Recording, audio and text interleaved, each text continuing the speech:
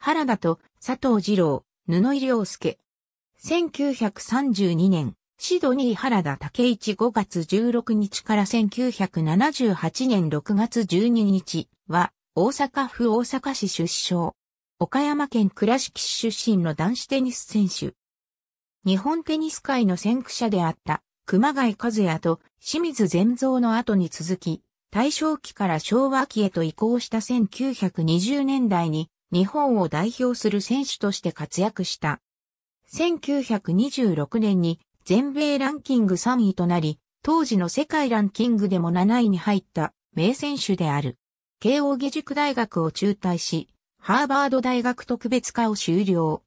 とりわけ、男子テニス国別対抗戦、デビスカップで傑出した成績を上げ、海外のテニス界にも強烈な印象を残した。彼は、美貌の青年として女性からの人気も高く、海外にも多くの女性ファンを獲得した。当時の日本人男性としては珍しく、豪快な遊びを好んだ人物でもあった。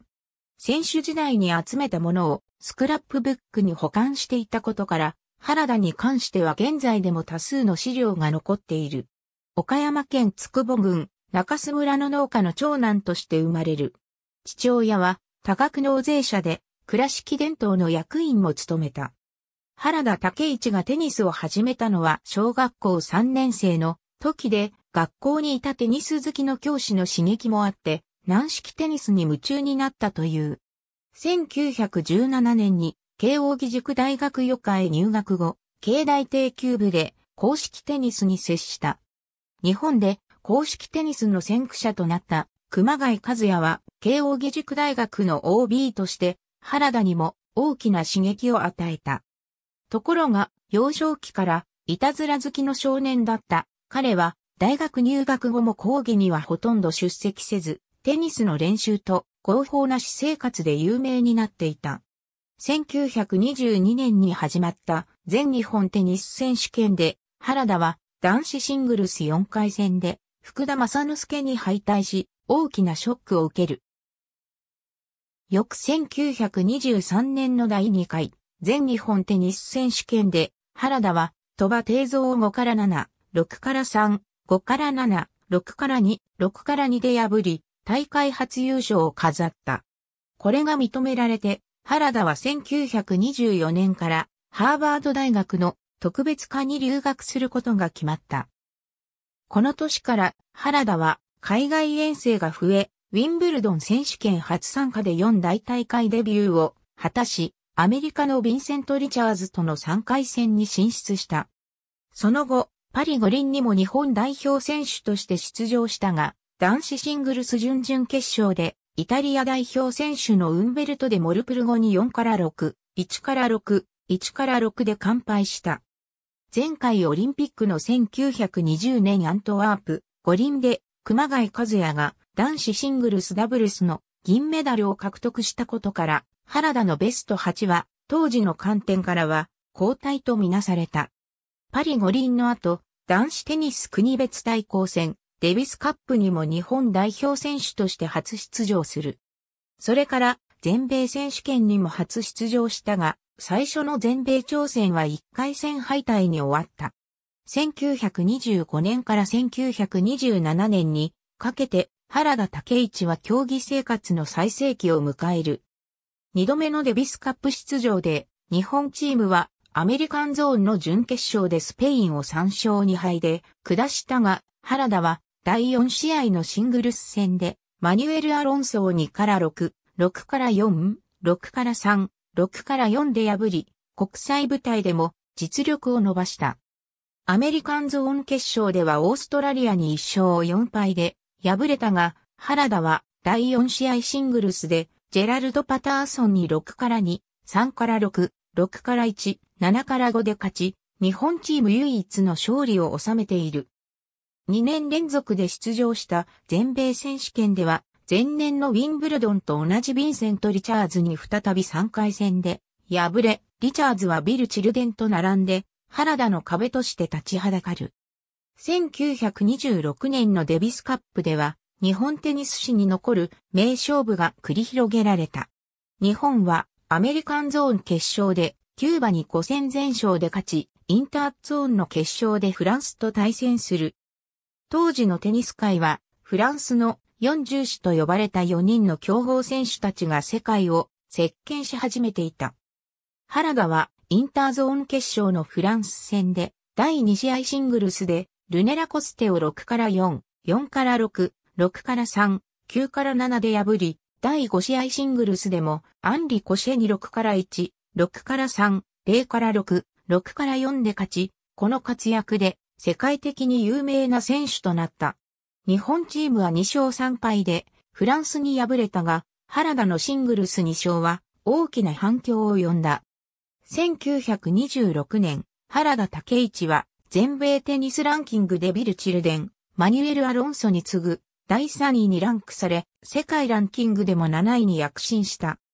1927年のウィンブルドン選手権でメリットシーディングという新たなシード選手選定方法が定められ、原田武一は最初のメリットシーディングで第5シードに選ばれたが、1回戦敗退に終わった。この年はデビスカップインターゾーン決勝と全米選手権3回戦でラコステに連敗する。原田は海外でも友達作りのセンスに優れていたため、遠征で親しくなったヴィンセント・リチャーズを日本に招待した。その後、世界の名選手たちが続々と日本を訪れ、海外トップ選手たちのプレーを日本国内で見る機会が増えたが、その最初の流れを作ったのが社交家の原田であった。競技生活最後の年となった1930年、原田はデビスカップに3年ぶり5度目の出場で日本チームをヨーロッパゾーンの決勝まで導いたが、日本はイタリアに2勝3敗で敗れて、インターゾーン決勝進出を逃した。原田は対イタリア戦でシングルス2試合に勝利し、6年前のパリ五輪準々決勝で敗れたウンベルト・デ・モルプルコに接続している。